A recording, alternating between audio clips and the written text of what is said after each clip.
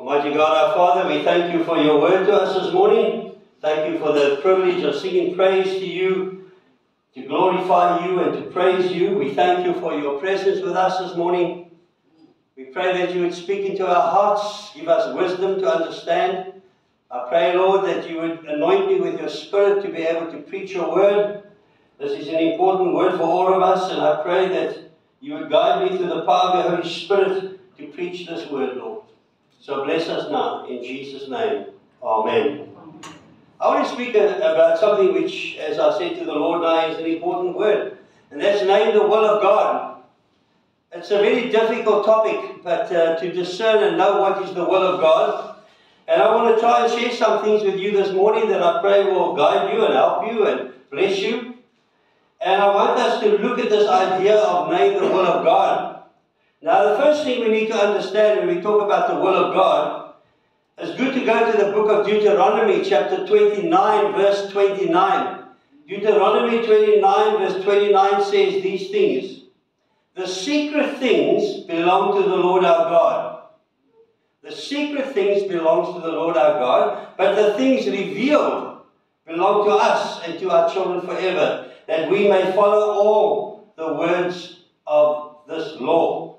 So we have we have three things here. We have God's secret will, we have God's revealed will, and then we have to talk about testing that will of God which we don't understand, whether we need some discernment. So when we look at God's secret will, God's secret will are those things that we have no answer for. There are many things in this world and in this life that you won't even find it in the scripture. The answers aren't in scripture. We just don't understand it. We can speculate and, and so on, but we just don't understand it. It's an absolute mystery. When is he coming back, for example? Um, you know, uh, when certain things happen, why did that happen and how did it happen? It's just, it's a mystery. And those are the things that it says in Deuteronomy 29, 29, which is the secret things that belong to God that will eventually be revealed, but we don't know it. Now, in that case, we have to then walk by faith and we have to walk by trust in God because we just don't know. We have to just trust Him. He's the one who knows. But then there are the things, the will of God that's been revealed to us. God's will that has been revealed to us that we all know. Now that's quite quite easy. I'm going to share a few things with you about that quickly. The, God, the things that God has revealed to us, which is His will, is, for example, the Ten Commandments. I am the Lord your God, you shall have no other gods before me. You shall not make an idol of anything and worship it. You shall not make wrong use of the name of the Lord your God. Remember the Lord's day and keep it holy. Honor your father and mother. You shall not commit murder. You shall not commit adultery. You shall not steal. You shall not give false evidence. And you shall not covet the possession of others. Now, those are the Ten Commandments, the law that we all know. And then we have to be, oh, just to be obedient. It's, it's as simple as that. That's God's law. You've got to be obedient to the law of God. Then there are many other teachings of Jesus that we know is His will. I want to share a few with you now. There's quite a lot, so I'm not going to spend too much time, but just to give you an idea. For example, in John chapter 13, verse 34 to 35, Jesus said, A new commandment I give you, love one another as I have loved you. So you, so, so you must love one another. By this all people will know that you're my disciples if you love one another. Now that we know. God's command is, His will is that we love one another. That we know that clear. Then we have, in scriptures we have, we see quite clearly that God's will is that we repent. There's a lot of scriptures, but I'm not going to give you all the scriptures. You won't remember it anyway. But just so you can just get into your spirit. We, God's will is that we repent every day. God's will is that we rejoice. Let your light shine. He wants, that's His will, that our light shines. Be righteous. In other words, be walk in the power of God. Be the righteousness of God. That's God's will. Be reconciled to one another. Be reconciled to God. That's God's will. Settle matters quickly. If you have a problem with a brother and sister, settle those matters quickly. That's God's will. Um, don't lust. Keep your word. Turn the other cheek. Go the extra mile. Love your enemies. Pray for those who persecute you. Be perfect. Practice secret disciplines. In other words, your prayer time, your quiet time, all those things. Pray. Forgive. Those are God's commandments. Fast. Store up treasures in heaven. Don't worry. That's a very difficult thing. But God said, don't worry. Because if you worry, that means you're not trusting me. Don't worry. Seek his kingdom first. Don't judge. Don't cast pearls before swine. In other words, the, the, things of God. Don't put the things of God between in front of those people that's going to just trample it in the mud. Ask, seek, and knock. We need to ask, we need to seek, we need to knock. That's what Jesus commanded. Um, live the golden rule. Don't do to others what you don't want to happen to you. Enter through the narrow gate. Watch out for false teachers. Pray for workers. Be shrewd. Be afraid about the right things. In other words, be afraid of the, of the judgment of God upon you. So do the right thing so that you are not judged. Hear God's voice. Take Jesus' yoke upon you. Honor your parents. Don't despise children. Go to offenders and make peace. Honor marriage. Be a servant. Be a house of prayer. Ask in faith. Render to Caesar what is Caesar's and render to God what is God. I remember when I was, there was a church in Athlone. Uh, we used to play cricket against them. And the church warden, his surname was Caesar. And when he used to take the collection, he said, remember what Jesus said, render to Caesar what belongs to Caesar, what to God belongs to God. Give to me, I'm the church warden. Give them my anyway. Okay. Love God. Love your neighbor. Be ready. Take, eat, and drink communion. Make disciples. We're commanded to do that. Baptize. Teach what Jesus taught. Deny yourself. Don't be greedy. Be born again. I was born from above by the power of God's Spirit. Keep Jesus' commandments. So those things are those are things that have been revealed to us. If you go through the scriptures, we know what the commandments of, the, of God is to us. And so we've got God's secret will that we don't understand. It's hidden from us. We just have to move by faith and say, Lord, I'm just trusting you. Then there's God's revealed will, which I've just read to you now, where we have to say, Lord, I'm going to try my best to be obedient and to follow your will that's been revealed to me. Now, that's not always easy. So the, the one is by faith, the other one is by obedience. But now I want to spend some time on the last one. And that is to discern God's will, to test God's will. Testing the will of God. Where we don't, where it is not hidden, it is not hidden, nor has it been revealed. Now, how do we, then we have to test God's will. How do we know what's God's will in a case like that? So, the first thing is that it's not clearly defined in Scripture. For example, I'll give you an example. If, if you feel in your spirit that God has called you into the ministry, for example, you have to discern that. You have to test it. You have to get others to help you test that. It's not in black and white. You just don't know. You have to. It's a very difficult thing. Believe me. When I went to the ministry, it took me two years to figure it out. It's not that simple. Or if God sends you into the into the mission fields and He feels you, you feel you want to go, it's not an easy decision. It's not just there for you. You have to test God's will. Or, or when God doesn't answer prayers in the way that we want, you've prayed and you pray, you don't understand. So you've got to test God and you've got to discern it. What is God saying to you? You need wisdom to discern His will. Okay, so those are the things. So I want to look at seven areas. Seven areas how you can test the will of God in your life. And I, I pray that you'll be blessed by them. The first way is through experience. There's nothing more valuable than a mature Christian or a Christian that has experienced things in life. Romans 12, which we read today, speaks about the renewing of the mind.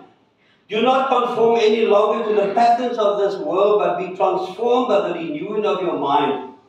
Then you will be able to test and approve what God's will is, His good, pleasing, and perfect will. So you need to renew your mind, and the way that happens is through maturity. And through walking in the strength and the power of God every day of your life until your mind has been renewed. So then you operate out of experience of things that you know. And you test God in that through that experience. Um, because you've, you've seen it before. You've seen how operate, God operates. You've experienced in your life. And so you say, Lord, I'm, I'm, I'm testing this is your will. I believe this is your will because I've experienced it before. That's the way you do it. The second way to discern God's will is when there is a need. When there is a need, what has God brought to your attention? I remember uh, Rick Warren was speaking about his wife one day. She had a breast cancer. And she was sitting in the, in the waiting room for the, for the surgeon. And she was looking at this magazine. And in the magazine, it was dealing with all the children in Africa and other parts of the world who were suffering from AIDS. She immediately had a tremendous burden in her spirit for these children. And so she was convicted out of the need. And so she knew in her spirit, out of the need in her heart, that there was, it was God's will for her to be involved in the AIDS ministry. And they raised millions of dollars for the AIDS ministry. She got very involved in it. So that came out of a need that she felt in her spirit, that that was God's will. Acts chapter 16, verse 9 to 10. During the night, Paul had a vision of a man of Macedonia standing and begging him, Come over to Macedonia and help. After Paul had seen the vision, we got ready at once to leave for Macedonia, including concluding that God had called us to preach the gospel to them. So Paul has this vision of someone calling him. And out of that vision, out of that need, he concluded that that was the will of God. So the need prompted him to be in the will of God. And, and he discerned that was the will of God for him. Now, the thing is, you can't meet every need or every thought. Um, but you will, you will know in your spirit, out of that need that you feel, that this is where God is drawing you to. And then you know it's God's will for you. I, is, is can I meet this need? Lord, are you calling me to meet this need? And that way you test the will of God out of the need. The third way to test the will of God is when there is an opportunity for you, an opportunity arises that you never expected. Why did this happen? Where do you, where do you see the opportunity that God has presented to you in terms of knowing His will for your life? In 1 Corinthians 16, verse 5 to 9 says, Paul said, After I go through Macedonia, I will come to you. For I will be going through Macedonia. Perhaps I will stay with you a while, or even spend the winter, so that you can help me on my journey wherever I go. I do not want to see you now and make only a passing visit. I hope to spend some time with you, if the Lord permits. But I will stay on at Ephesus until Pentecost, because a great door for effective work has opened for me, but there are many who oppose me. So there's a door that Paul feels God has opened for him. So he's going to test that. God has opened the door for me, so I'm going to go there. I'm going to stay in Ephesus. The door is open. There's an opportunity for me to do the things of the Lord, and I'm testing it. And that's what we're going to do as well. And there's going to be some flexibility in that. How is God leading me in this particular thing? Lord, is this your will? I'm testing you. Is this where you want me to be? And then the interesting thing about this is that he also realizes that there are going to be many who are going to oppose him. So when God, when an opportunity arises, and God opens a door for you, and you discern through testing that that is God's will for you, doesn't mean it's going to be easy. And just because it's not easy, just because it's difficult, and you're going to find difficulties on the way, that doesn't mean that isn't God's will for you. In fact, the devil is just trying to stop you. And that's what Paul experienced.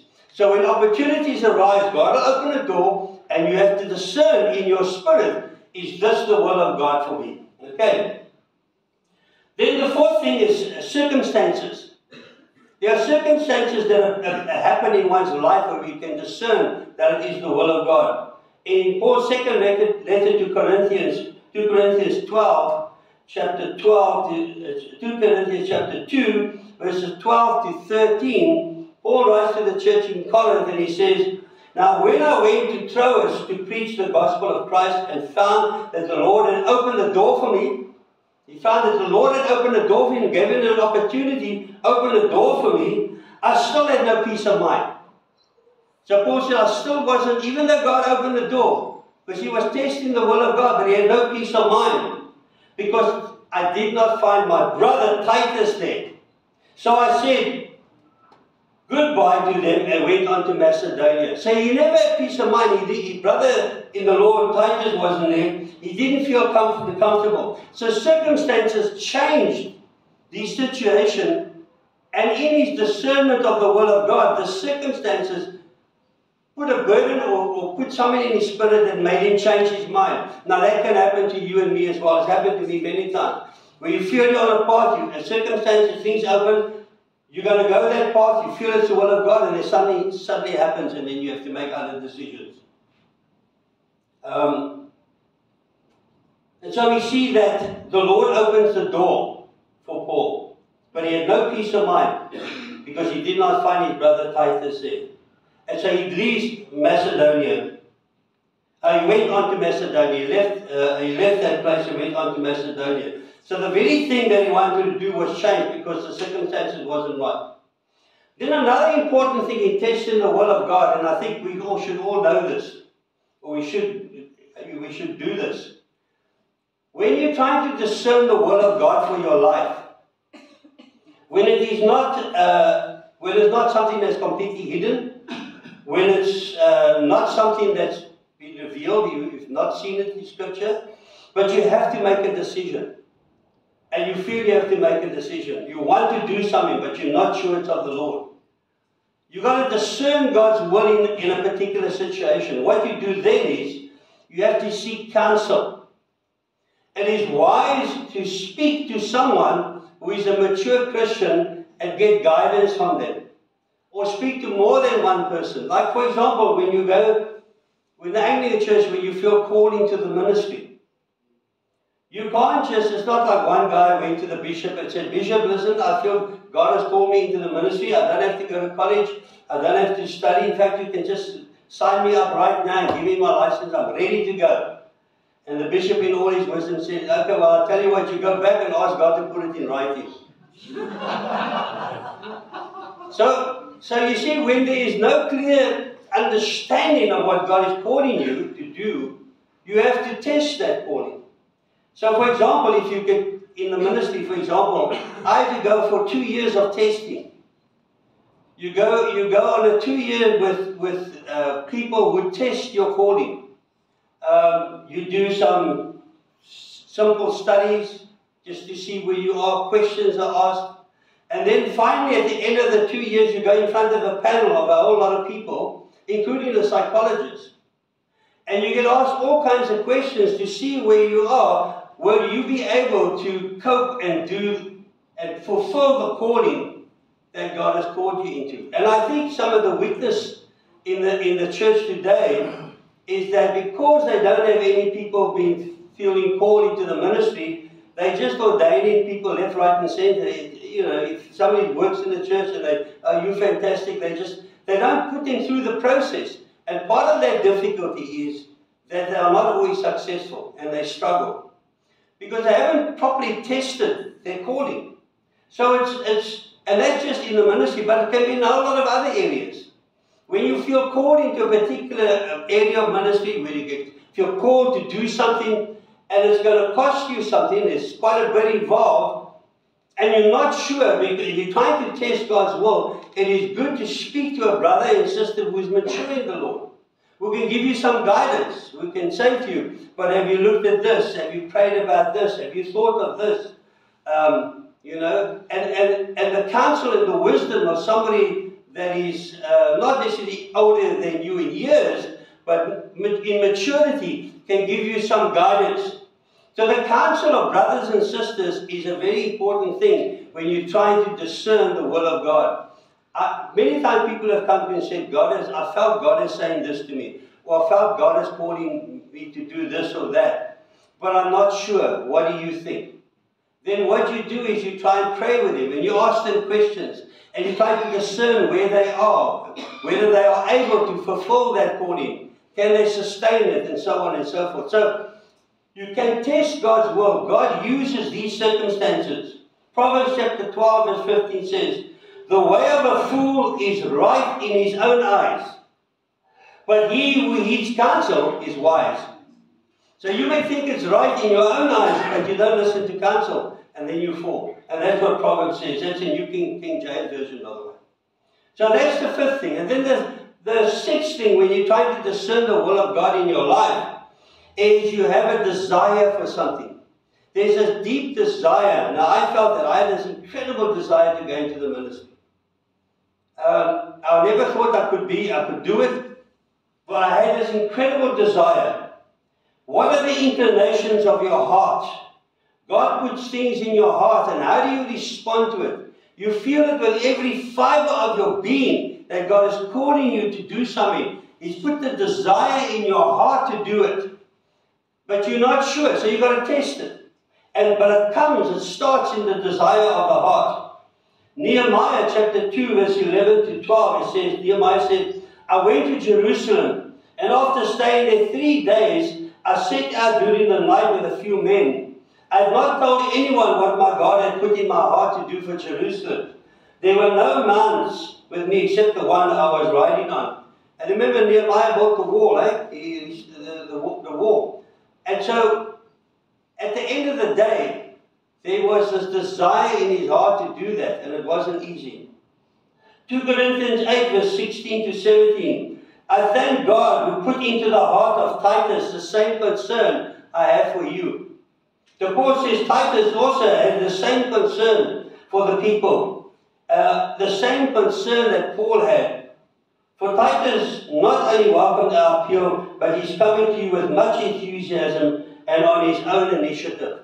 And so the desire is in our hearts. There's a tremendous desire to, um, to want to do something. I remember other, last week Ansel stood up here and said he had this incredible desire to, to build a church, to have the church. And God put the desire in his heart. And so we are now in the building that we reaping the benefits of that desire, which was God's will. That's how it works. If he never had the desire in his heart, would, the building wouldn't be, wouldn't be here for this purpose. So God puts a desire in our hearts to do certain things. All right. Then the seventh and last thing is gifts. God gives us gifts.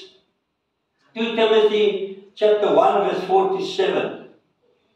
Paul writes to Timothy, he says, I've been reminded of your sincere faith, which first lived in your grandmother Lois and in your mother Eunice, and I'm persuaded now lives in you also.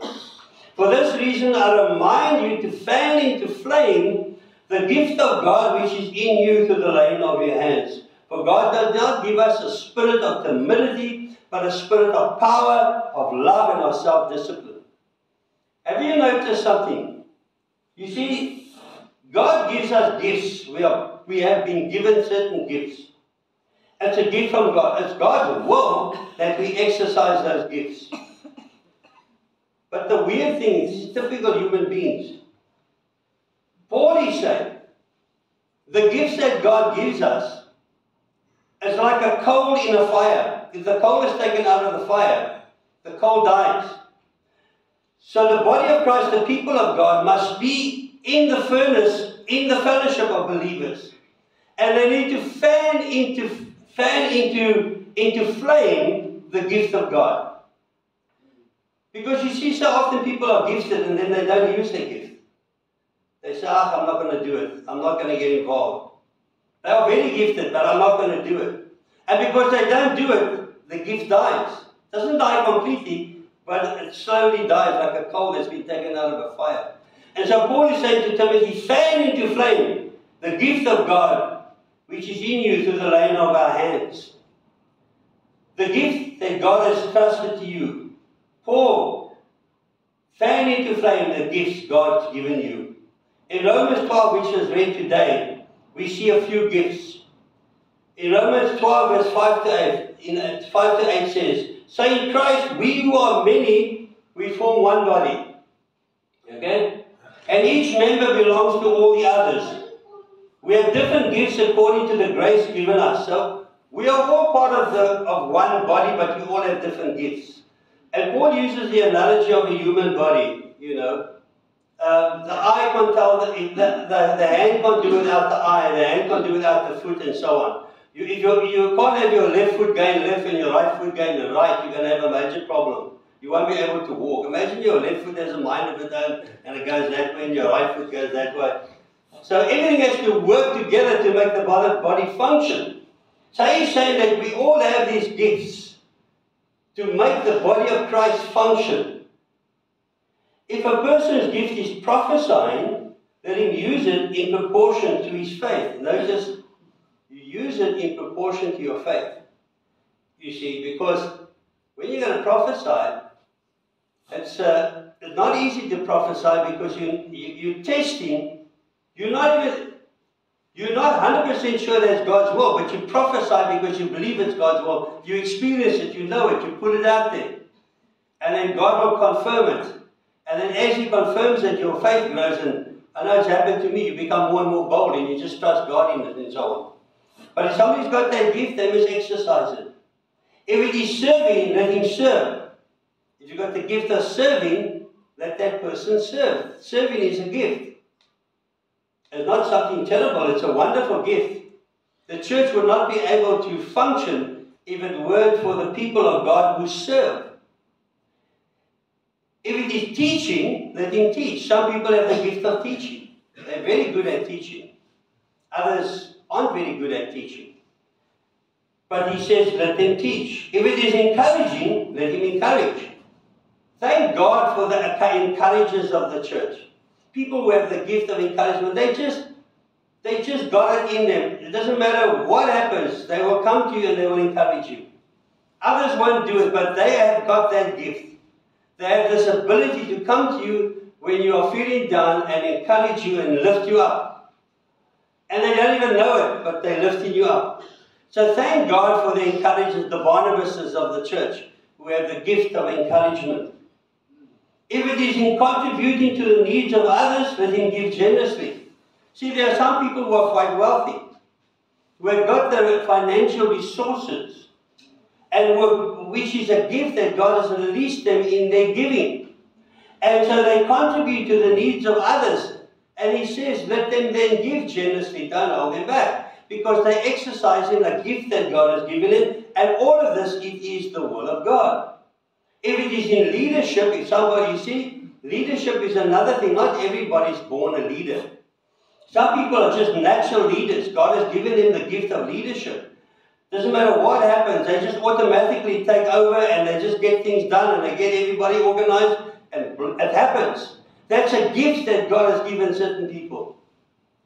Let him govern, and then if it's leadership, let him govern diligently. If it is showing mercy, let him do it cheerfully.